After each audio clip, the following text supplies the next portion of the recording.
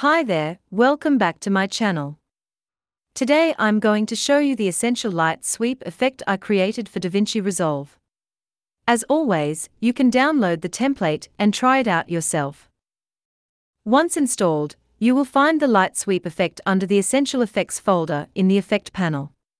Drag it onto the clip on the timeline to apply the effect. In the inspector, you can adjust the sweep intensity to increase or decrease the brightness of the light beam.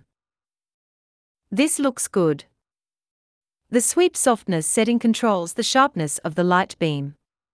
Increase the value to soften the beam, or decrease the value for a hard-edged beam. Let's reset it to default. The edge intensity controls the strength of this rim light effect, which adds a 3D touch to the result. Setting this value to zero will disable the rim highlight effect if necessary. The thickness setting adjusts the size of the edge. Use edge softness to adjust the softness of the edge. These settings control the position, size and angle of the light beam. You can adjust these values in the inspector. Or enable the Fusion overlay in the viewer and adjust the light beam directly using the on-screen controls. As we change the angle, the rim light edges also adjust to reflect the light direction. You can also change the light color by adjusting the RGB channels. To create a light sweep effect, you can keyframe the center parameter. Move to the beginning of the clip. Mark a keyframe. Move the light away so it's not shining on the title. Move forward a bit. Move the light to the right, across the title. A new keyframe is added. Play the clip. To better see the effect, you can disable the Fusion overlay. Great, this looks cool. Instead of moving the center of the light for the sweep effect, you can also keyframe the angle parameter to create a rotating sweep animation. Double-click to reset the center parameter and remove the keyframes. Go to the beginning of the clip. Move the light away so it's not shining on the title. Then, add a keyframe for the angle parameter. And adjust it, so the light is just off the title. Move the playhead forward a bit. Change the angle to wipe across the title, which adds another keyframe for the angle parameter. Play the clip, and you'll see a nice light rotating and sweeping effect. If you want to learn more about creating this effect from scratch using Fusion tools, stick with me. Open the clip in the Fusion page. Add a brightness contrast node to the editor. Branch the output of the template node, connect to the brightness node as input.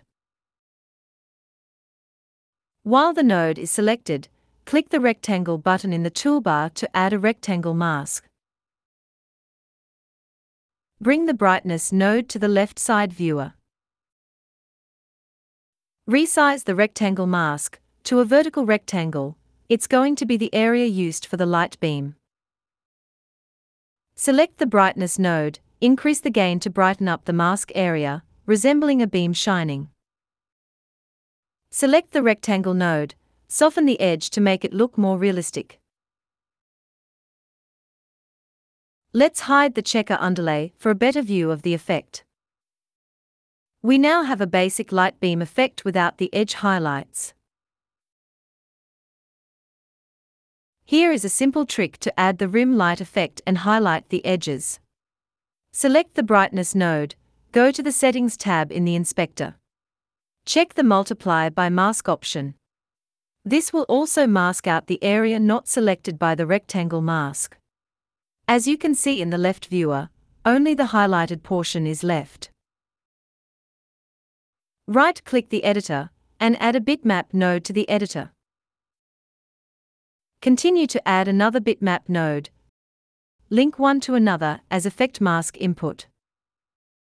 You can also press Shift Space to open the tool selection window, find and add the bitmap node. Connect the brightness node to both bitmap nodes as input. Drag the bitmap 2 to the left viewer. While the bitmap 2 node is still selected, go to the inspector and change the paint mode to multiply. Select bitmap 1, invert the selection. We now have the nice edges of the letters. Change the center value. And this gives us a rim light effect, like in a 3D environment. Soften the edge to make it look more natural. Add a merge node to the editor.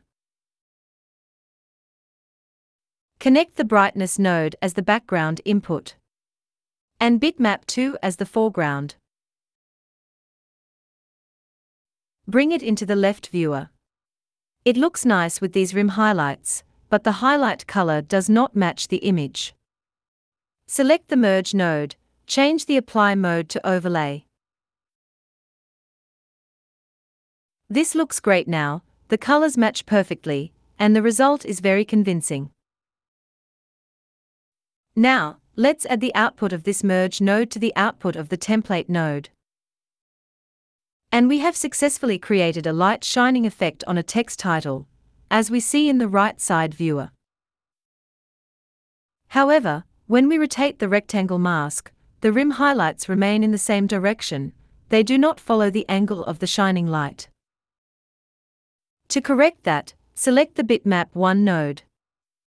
Right-click the center parameter, modify the center with vector result.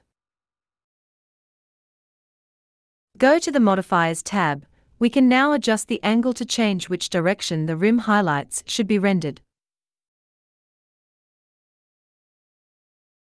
So we can modify it with a simple expression, and link to the angle of the rectangle mask. The edge highlight is rotated, but it's not in the direction of the light beam, they are offset by 90 degrees. To visually match the light direction, Set the expression to the rectangle's angle, minus 90 degrees. This looks good. Now, if we change the rectangle's angle, the rim highlights will follow the direction of the shining light. Alright, that's all for today.